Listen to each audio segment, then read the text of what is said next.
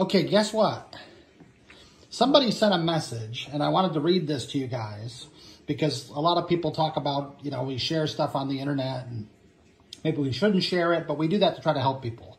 So this is um, Kathy from Missouri sent me this message and she gave me a picture or a permission to share.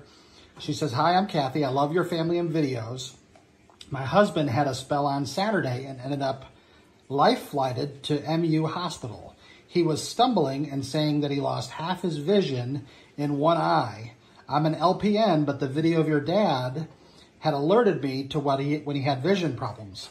My husband's very stubborn and argued going about going, but because of your dad's symptoms, I pushed the subject of going to the ER and I told him he either goes with me or I call an ambulance.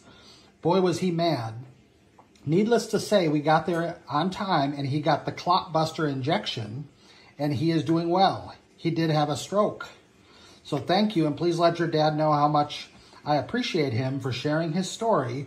His story was in my head when the unexpected hit. Even as a nurse, I was in panic mode when I saw my husband go down. Thank you again. Also, I love Betty. So wow, here's we're share, this is one of the reasons we share not only your journey but her journey as well is to try to help other people. Oh, that's good. I'm glad he got help. Right. So fast action with a stroke makes all the difference. Yeah.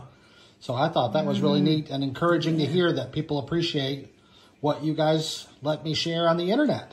Right? Very mm-hmm. nice. Yeah. So thank you, Kathy, for sharing. Thank you.